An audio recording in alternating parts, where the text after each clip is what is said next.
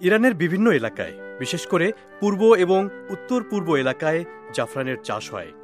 ইরানের পূর্বাঞ্চলীয় প্রদেশের মধ্যে দক্ষিণ খোরাসান প্রদেশ জাফরান চাষের অন্যতম সূতিকাগার হিসেবে সারা বিশ্বেই খ্যাতি অর্জন করেছে।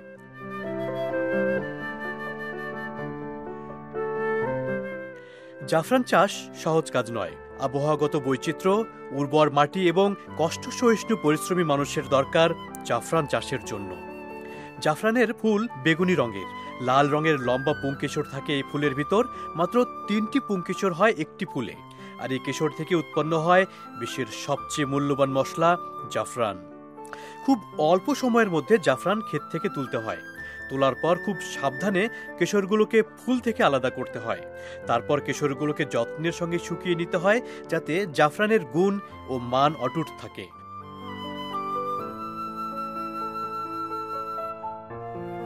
সকালে সূর্য ওঠার সময় ফুল ফোটে আর দিনের শেষে তা মলিন হয়ে যায়। এক গ্রাম জাফরানের জন্য একশো পঞ্চাশটি ফুল দরকার। অন্য হিসাবে, এক কেজি ফুল থেকে বাহাত্তর গ্রাম তাজা কেশর শুকিয়ে মাত্র বারো গ্রাম জাফরান পাওয়া যায়। চারশো পঞ্চাশ গ্রাম শুকনো জাফরানের জন্য পঞ্চাশ থেকে পঁচাত্তর হাজার ফুল দরকার। আর এক কেজির জন্য এক লাখ দশ হাজার থেকে এক লাখ সত্তর হাজার ফুল দরকার। আর চল্লিশ ঘণ্টা সময় লাগে এক লাখ পঞ্চাশ হাজার ফুল তুলতে।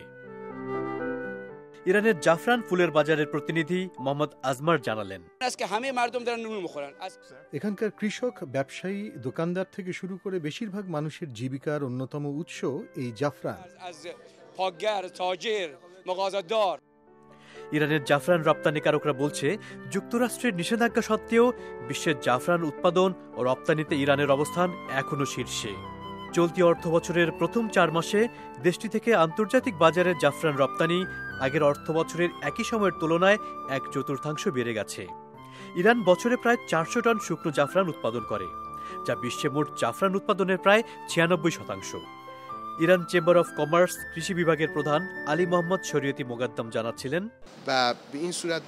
যুক্তরাষ্ট্রের বাণিজ্যিক নিষেধাজ্ঞার ফলে বর্তমানে বিদেশি অর্ডার তুলনামূলকভাবে অনেক কমে আসলেও স্পেন হয়ে জাফরানের চালান যাচ্ছে খোদ যুক্তরাষ্ট্রের বাজারে। ইরান বিশ্বের চল্লিশটিরও অধিক দেশে উচ্চ মানসম্পন্ন জাফরান রপ্তানি করে। তালিকায় এরপরে যথাক্রমে চীন, স্পেন, আফগানিস্তান ও ভিয়েতনামের অবস্থান।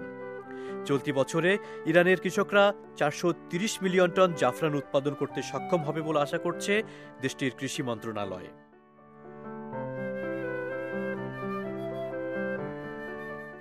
শিগগিরই যুক্তরাষ্ট্রে নিষেধাজ্ঞা কাটিয়ে লাল স্বর্ণখ্যাত অতি মূল্যবান এই সুগন্ধি মশলা বিদেশে রফতানি করে দেশের অর্থনীতিতে উল্লেখযোগ্য ভূমিকা রাখবে বলে আশাবাদী ইরানের জাফরান চাষিরা।